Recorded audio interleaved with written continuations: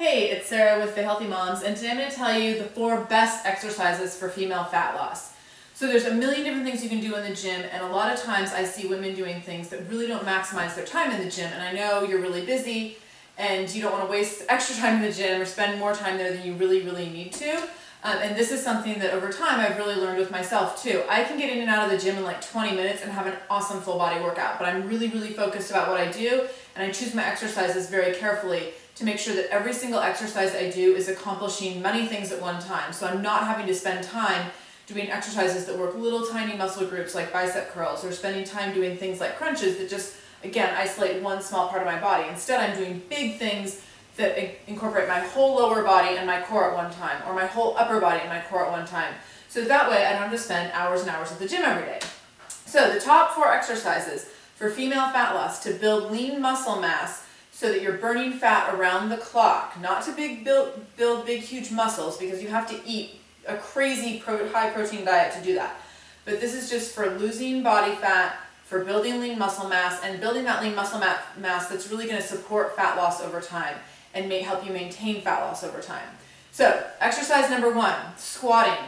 Squatting is a great exercise because it incorporates so many muscles at once, which is why when you do squats, you feel like, oh, my heart rate's kind of getting up. It's because you're using so many big muscle groups that your heart has to work harder to pump blood to all those big muscles. If you think about the muscles in your legs, they're really big, bulky muscles. Even if you have lean legs, you have bulky muscles down there relative to the rest of your body, or larger muscles relative to the rest of your body. So when you're doing squats, you're using the front of the legs, the back of the legs, you're getting some booty in there, um, and then additionally, you're always using your core to help you stabilize, especially if you're using additional weight above and beyond your own body weight. Some things to keep in mind when you're squatting, if you add additional weight in the form of dumbbells, you can just have them hang at your sides. If you have a bar on your back, you want to be using a squat rack, so you don't want to be picking up a big, huge, heavy bar and throwing it on your back um, and getting a shoulder injury. You want to have a squat rack at the gym where you're stepping in, you can safely get under that weight and then walk yourself back and go into the squat. Um, a couple issues with form with squatting. You want to make sure that your weight's always in your heels and your form always starts with your butt going back.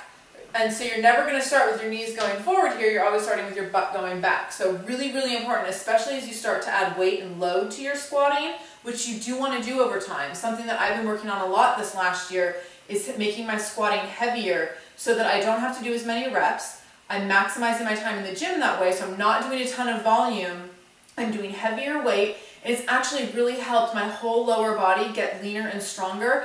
I actually noticed that I have less cellulite. About a year ago, I started noticing cellulite on the front of my legs. Totally freaked me out. Um, so I've been doing much heavier squatting and my legs are actually have, show a lot more muscle, less cellulite and fat, um, and because my thighs can kind of be my trouble area. So heavy squats is a really good thing as long as you're safe. So again, butt goes back, and then from here you come down into your motion right here. So if I add a barbell up here, same idea. My butt goes back and then I start to come down. Or dumbbells at my side. My butt goes back and then I start to come down. Exercise two for burning fat is lunging. Very similar to squats because they burn or they use the same big muscle groups. So you're using the fronts of the legs, the backs of the legs. You're getting up into the butt when you lunge, which is why a lot of times it hurts to sit on the toilet the day after you do lunges. But the other really great thing about lunges is because you're moving yourself forward in space or back in space or to the side, you get inner and outer thighs as well. So you're moving, working those little um, adductor and abductor muscles, which are great. That means you never have to sit in that ridiculous machine that goes in and out with your thighs. I hate that thing. So you never have to do that again. It's a total waste of your time. Do lunges. I know that some people really have pain with lunges in the knees. Um, if you have any knee issues, that can be a challenging exercise. So you might need to just stick with squats or you can try reverse lunges. So reverse lunges is a step backwards, which helps with your knee alignment because sometimes forward lunging can be a little bit uncomfortable on the knees if you have a past knee injury. A couple things to be mindful with, with lunges, just like squats, once you master the movement with your body weight, you can add weight to it. And when you add weight, you want to add dumbbells down at your sides. You can add a bar across your back. You can hold a kettlebell in front of you. So there's lots of ways to add weight. With your lunge, you want to make sure you're taking a really big step forward and then you're looking for 90 degrees at both knees here. So for most people, you can take that big step forward, drop the back knee, and then you have your 90 degrees. But if you're not sure, always watch yourself in a mirror a couple times just to make sure that you're getting that alignment. If you take too small of a step right here, this knee is going to come way forward here and that's going to really put a lot of force on that knee that's going to potentially be uncomfortable and give you an injury over time. All right, exercise number three. So moving from lower body to upper body, the third exercise that's most significant and most helpful and beneficial for female fat loss is push-ups.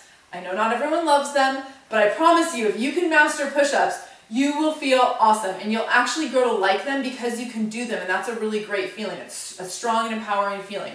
I used to hate push-ups. I have cried over push-ups, but now I like them, I love them, I do them all the time and I actually, I had a physical therapist ask me once when I had a shoulder injury and I was upset about not being able to do push-ups. He said, well, why do you do them so much and why would you want to do that many push-ups and why would you do 100 push-ups in a workout?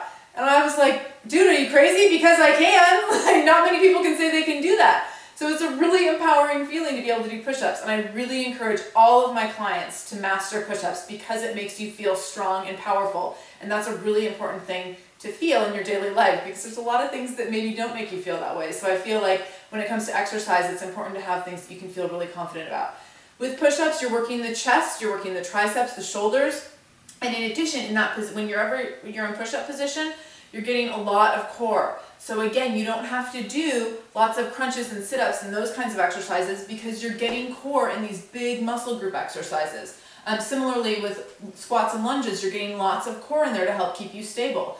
Backing up to lunge for just a sec, anytime I go into this step here, if I'm wobbly at all, my core has to fire. So if I'm really strong through here, then I can plant that foot and lunge. Similarly in push-ups, to maintain my form in push-ups, I have to keep my core tight, strong, and engaged. So as I come down here into push-up position, if my core isn't engaged, then my hips are going to be way down here. I might be popped up way up here, but if I'm right here, my abs are tight, I can come down one solid movement in and out of my push-ups. Same thing from my knees, in and out of the push-up. If you're on your knees, just make sure your butt comes with you, that you're not booty up in the air, and then right here, which is not the proper way to maximize the benefit of the exercise. So exercise number four. If you really love push-ups, then you probably really love pull-ups. So the fourth exercise for burning the most um, fat as a female is pull-ups. And I know that pull-ups are incredibly challenging. It's something that I really struggle with. It's something I don't particularly enjoy.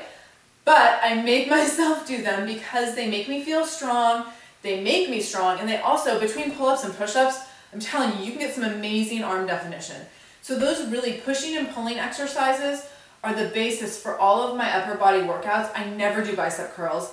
I sometimes will do some isolated tricep work. Sometimes I'll do some isolated shoulder work. Most of my shoulder work comes in core stuff, like when I'm doing planks and those kinds of exercises. But I don't do little tiny exercises for my arms because I'm doing big exercises that incorporate so much of my upper body and so much of my core because that's the best use of my time. So pull-ups, with pull-ups, there's a lot of ways you can start on pull-ups where you're not actually having to just go and get on a bar and do a pull-up because 99% of females can't do that because we don't have a ton of upper body muscle. We have to really develop that over time and it can take a while. But you can with pull-ups get on the bar and put a chair out in front of you. I have a whole um, a whole other video on that on my Fit Healthy Moms channel that talks all about how to do pull-ups at home with a pull-up bar. It's like a $20 bar. Stick a chair out in front of you and you can pull with the help of your leg to get yourself up and over that bar and it works all the same muscles. If you don't have access to a pull-up bar, some other exercises that work those same muscles would be a lat pull-down machine that most gyms have or any sort of dumbbell row. So from this position here, you've seen in some of my other videos, we work these muscles right here. These are working your back muscles as you pull those dumbbells up and squeeze the shoulder blades together. It doesn't work quite as intensely as pull-ups because you're not carrying your a portion of your body weight, but at the same time, that's going to fire the back muscles. So when you're looking for those exercises for as much fat loss as you can get in just a handful of exercises at the gym or at home, you want to be doing squatting, lunging, pull-ups, and push-ups. And there's lots of variations with all those exercises. If you need any special requests for special variations because you're feeling bored, let us know at Fit Healthy Moms. We'd be happy to do a post just for you with all sorts of variations of those great exercises. So go ahead, get those exercises into your regimen so that you can be burning the most fat possible around the clock to build those nice lean muscles.